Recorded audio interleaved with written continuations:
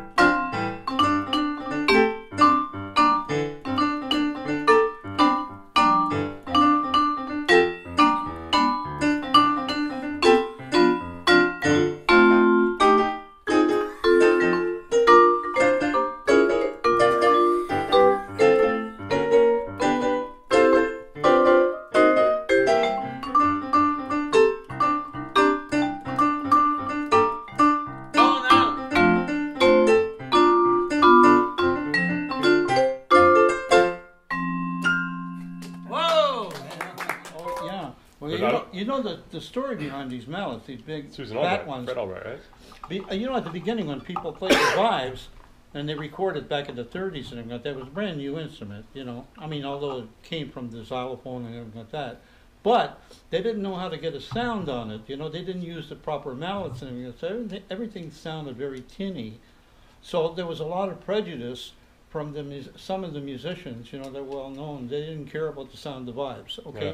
But Then, There was a guy called Freddie Albright who came who used to teach at um, in New York. I think it was on 40, 43rd Street between 6th and 7th. He had a top apartment and he taught people like, you know, Terry Gibbs because he was a xylophone player, but he devised these kind of mallets and what it is is black electrical tape inside here, okay? And he wraps it around with certain twine and it get it draws out the sound of the of the instrument. And so the guy so he because he taught Milt Jackson Milt Jackson started using them on his jazz gigs. And he got this gorgeous sound that was coming out of the Mm. instrument you know? And plus of course he was a great musician and he knew and he thought in his mind about the sound that he wanted to get. So that was his biggest achievement. And so far nobody Nobody's been able to Nobody's been able to get a sound like that unless he copies Milt Jackson, you know?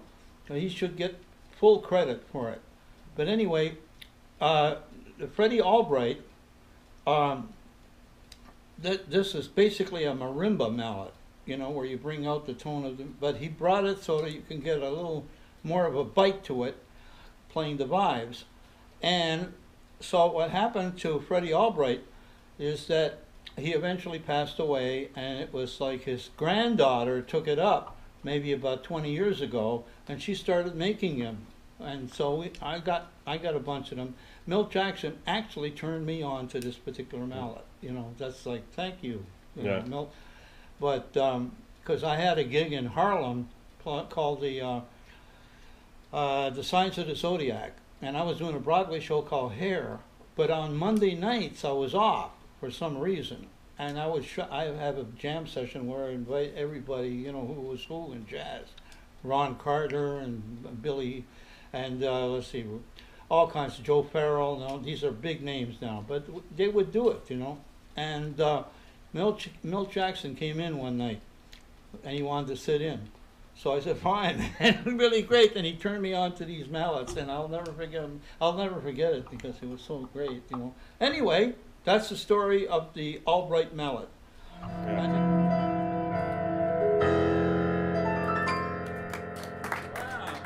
Doesn't get any better than this. Wow. All right, I want to hear you on vibe some